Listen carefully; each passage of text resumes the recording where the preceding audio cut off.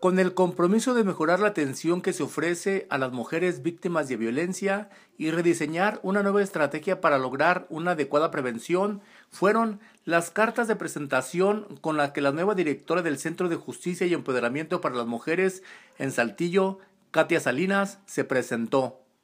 En entrevista, solicitada por los medios de comunicación, dijo que están en proceso de la entrega-recepción de las instalaciones. Cuando concluya, asumirá la dirección del centro. La preocupación es sobre los homicidios cometidos en contra de las mujeres. en el momento de ponernos en marcha, en la, en la dirección propiamente, la primera idea en este tema es hacer un diagnóstico de todas las rutas, las líneas de acción que se han estado trabajando por los, por los centros de justicia de las mujeres, centros de empoderamiento, y con base en ello reforzar, mejorar y seguir trabajando en la línea que el señor gobernador ha marcado en el tema de acceso de justicia a las mujeres. Se está haciendo un diagnóstico de todos los pasos a seguir y de todos los casos, uno por uno, se están analizando, no solamente este caso que usted comenta, ¿no?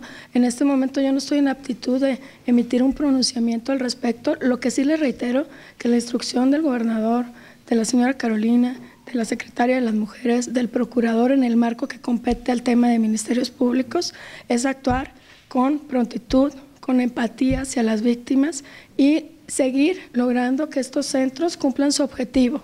¿Cuál es? que las mujeres tengan acceso a sus derechos en este tema, no solo de violencia, sino cualquier tema de género. Añadió que la operación del centro no se ha interrumpido y las mujeres que acuden a realizar una denuncia se están atendiendo, al igual que las que están recibiendo terapias y asesorías. Con imágenes de Carlos Hernández, para RCG informó Eduardo Hernández.